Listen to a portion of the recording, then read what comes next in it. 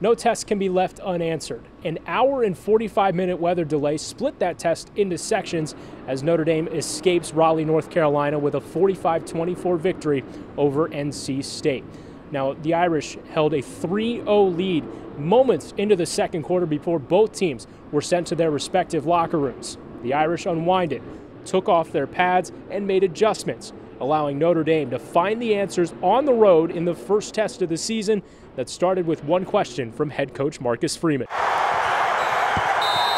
Who cares how the game started? Who cares about the two-hour delay? Let's go out there and play ball and, and uh, be aggressive as heck. And, and that's what the, I wanted our team to be is ag- aggressive. We keep all week we're talking about you know how aggressive they are and, and those things, and, and rightfully so. I mean, it was a good football team we faced. But I wanted our guys with the mentality of we're not going to play pass, we're going to be just as aggressive as any team we face. The key to being aggressive? Meat.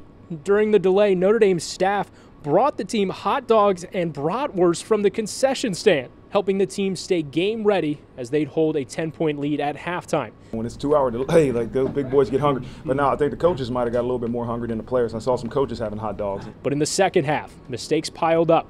Multiple penalties and a lost fumble led to NC State pulling within seven points twice. We knew that every play wasn't going to be a given play, it wasn't going to be easy play. We are going to have to scrap and fight for it, and that's kind of what we did. And it was a great, great battle, and we just had to keep on going, even if the play wasn't going to hit, because we just had to stick to it, and it was eventually was going to hit, and that's what happened in the second half. You know, in those moments, it's easy to panic and start yelling and screaming and, and, and create chaos amongst the team. But to be able to get to the sideline and say, okay, what went wrong on that last series?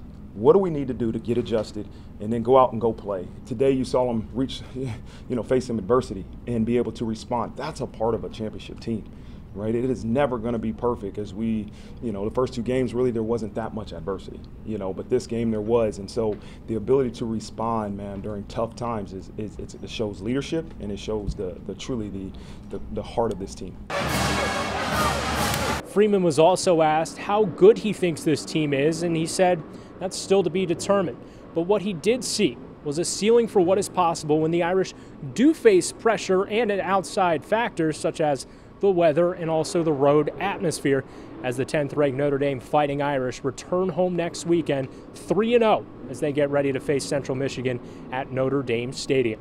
Reporting in Raleigh, Bennett Wise, WSBT 22 Sports. I'm Pete Byrne from WSBT 22 News. For more Notre Dame stories, like and subscribe to the WSBT 22 YouTube page. Thanks for watching.